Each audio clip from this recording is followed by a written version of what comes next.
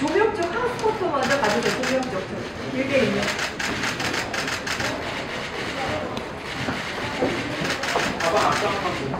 가방 앞쪽으로 한번 좀 부탁드릴게요.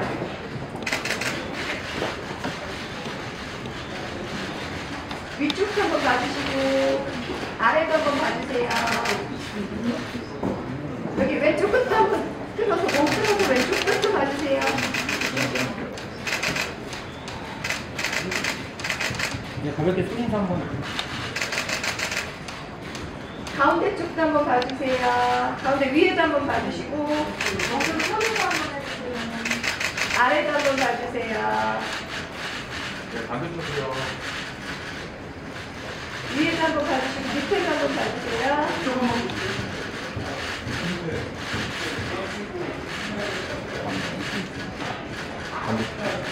여기 왼쪽 끝에 한번 더 봐주세요.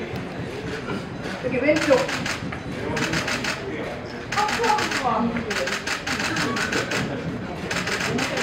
이쪽 한번.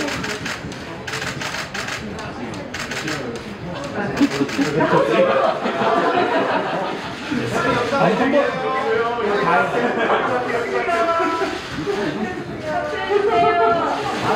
왼쪽에도 하트 한 번만 부탁드려요. 하트 해주세요 하트 좀 부탁드릴게요.